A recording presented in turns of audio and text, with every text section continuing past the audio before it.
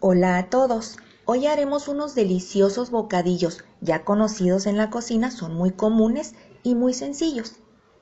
Pero para poderlos disfrutar sin culpa, los haremos más nutritivos. No te vayas porque comenzamos.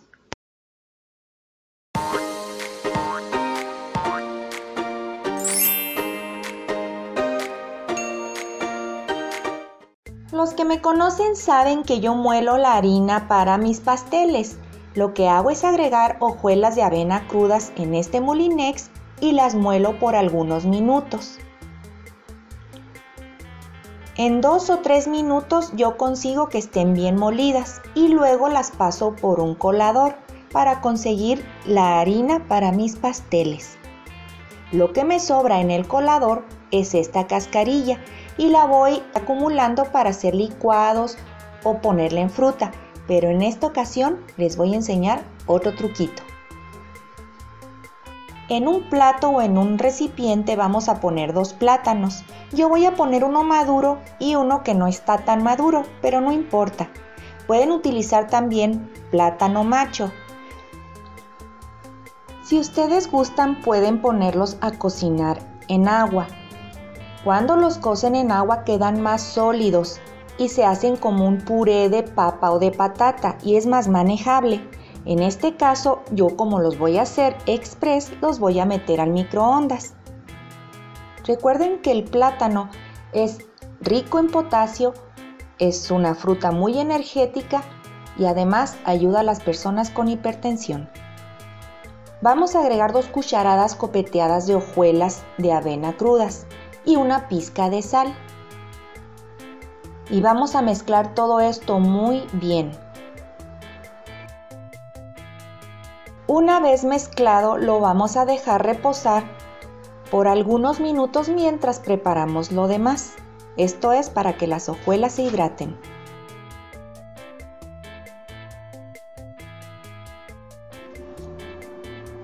En un plato o recipiente vamos a poner la cascarilla que les comenté al inicio y la vamos a condimentar con una cucharadita de sal con ajo.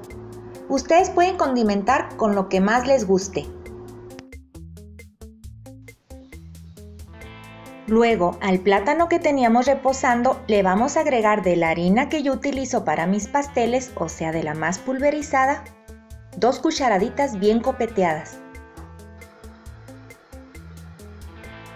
Y lo vamos a mezclar de nuevo muy bien para que se integre y sobre todo para que se hidrate la avena.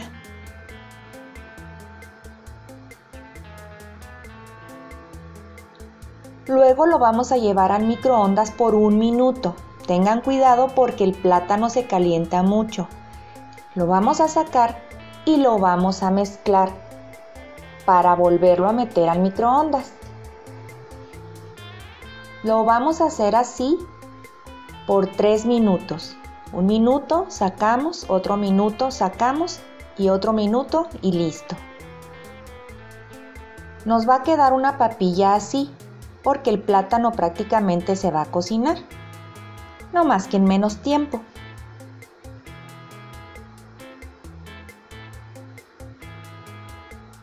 En otro plato o recipiente vamos a poner un huevo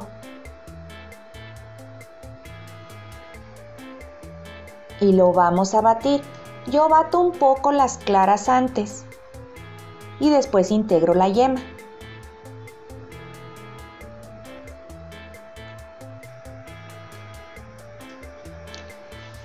Ya teniendo nuestros ingredientes listos, lo que es el huevo, la avena para empanizar y el puré de plátano, vamos también a cortar en cubitos pequeños queso mozzarella o queso panela o del que más les guste. Yo utilizo uno que no se derrite. Esto es bien fácil. Vamos a tomar una porción pequeña de nuestro puré y nos vamos a ayudar con tenedores o cucharas. Vamos a poner un cubito de queso y vamos a envolverlo con el puré. No importa si logras ver el queso por ahí, no pasa nada.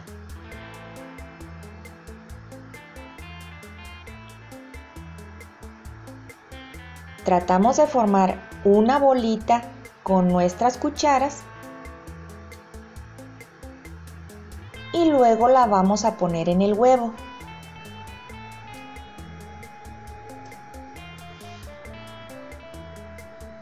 No se va a desarmar, no se preocupen. Vamos a mojarla con un poquito de huevo y luego la vamos a llevar a la avena para empanizar.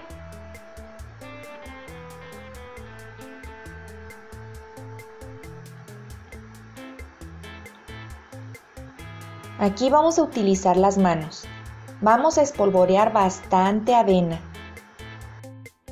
y vamos a ir formando una bolita. No importa que no quede perfecta, no hay ningún problema, porque esto lo vamos a dejar reposar y se va a comenzar a secar y ya seco es más fácil de manejar. No más hay que procurar que esté muy bien empanizada. Y la llevamos a otro platito. Y pues aquí en cámara rápida. Puré, un cubito, lo envolvemos, hacemos una bolita, la pasamos por el huevo,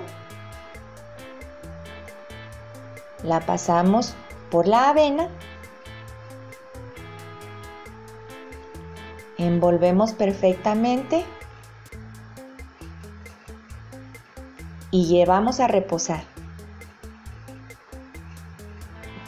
Deben de reposar como unos 10 o 15 minutos.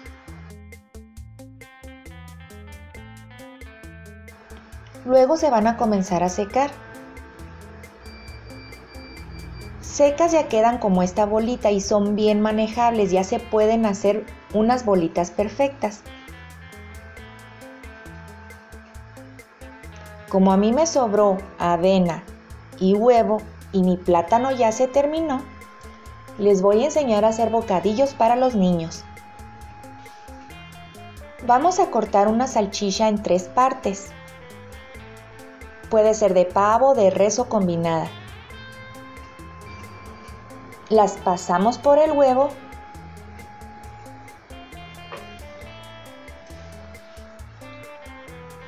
y luego las pasamos por avena. Las envolvemos muy bien presionándolas y las dejamos reposar para que se seque la avena. Bien fácil. Vamos a poner en un sartén aceite de oliva. Si ustedes gustan pueden poner mantequilla o aceite vegetal y las vamos a freír por 5 minutos.